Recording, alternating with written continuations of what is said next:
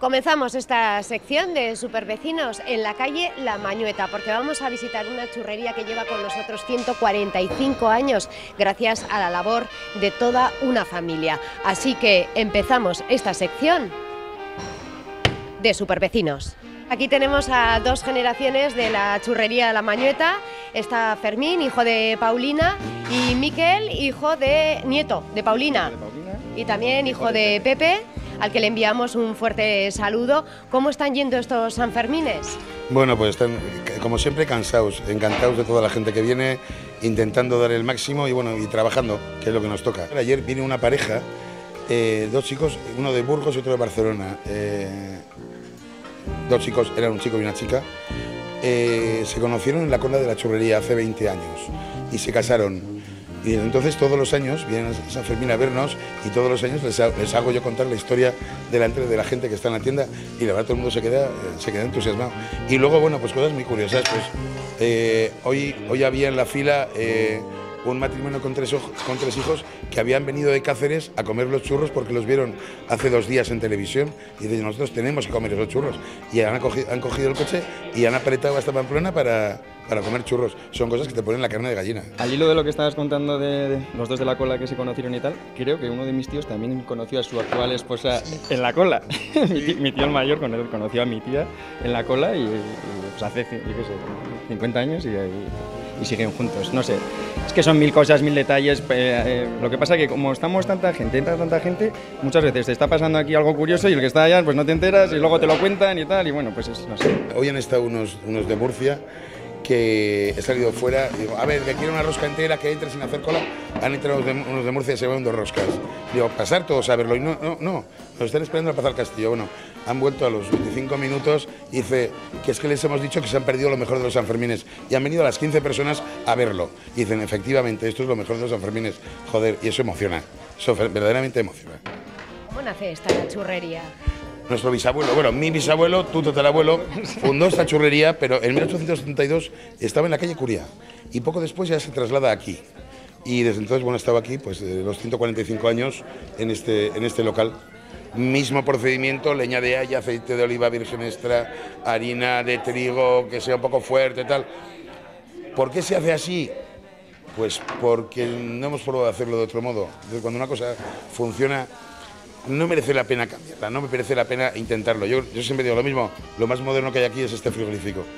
Hay hachas, hay palos de madera, hay, hay espumaderas de metal, pero no hay nada más.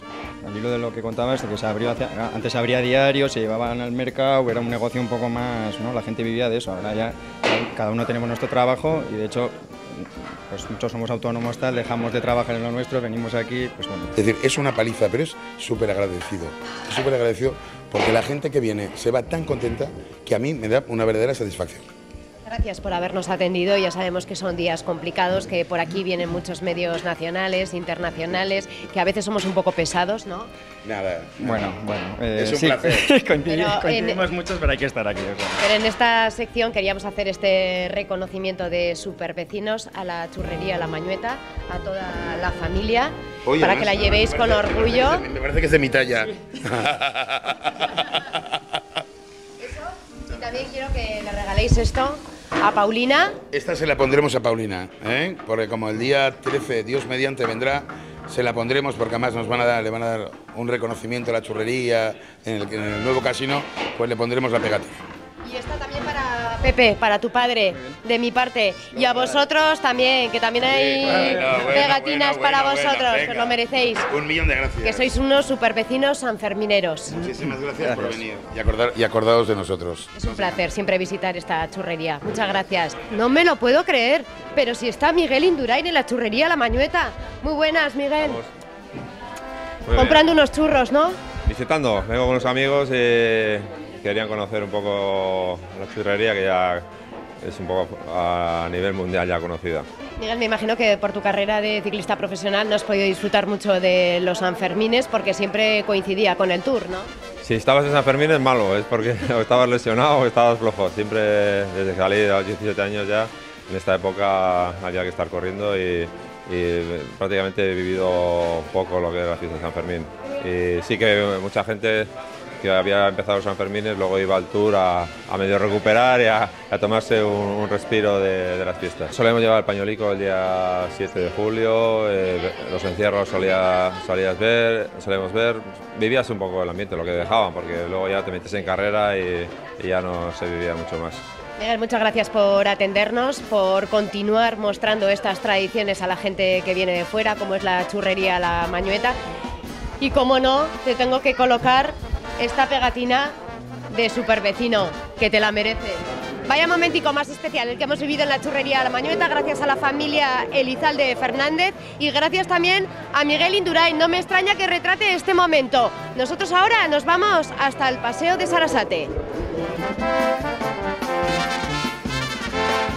Se llama Margarita, lleva 22 años limpiando los baños públicos del Paseo de Sarasate y hoy hemos querido venir a hablar contigo.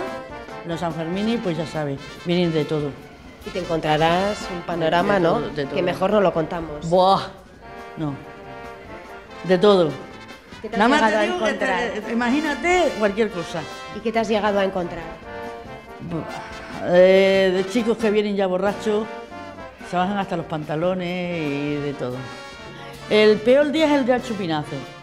Y el día del chupinazo vemos dos y, si, tenemos que, si tengo que llamar, llamo a municipal o algo así y están ellos ahí. Bueno, Margarita, vamos a hablar con un usuario de estos baños que te quiere mucho, ¿no? Sí, bueno, eh, es el segundo año que trabajo en la tómbola y la verdad que Margarita siempre ha estado aquí, que es el baño que tenemos que usar y los lleva muy bien, sobre todo en San Fermín, que es una época, perdón por la expresión, pero jodida para estar limpiando este tipo de sitios. Y luego personalmente a mí me ayudó una vez que yo soy bastante despistado, me dejé el cúter, que es una herramienta que usamos en el trabajo y que y solo con el gesto que hizo de devolverlo enseguida, pues a mí me dio bastante... Margarita se merece esta pegatina de supervecina durante todo el año y supervecina sanferminera, ¿no? No, Margarita, vamos a ponerte esa pegatina. A él, a él, a él. No te preocupes, que a él también le vamos a poner una pegatina porque trabaja en la tómbola, otra institución, Caritas, que durante los Sanfermines está aquí haciendo un buen trabajo.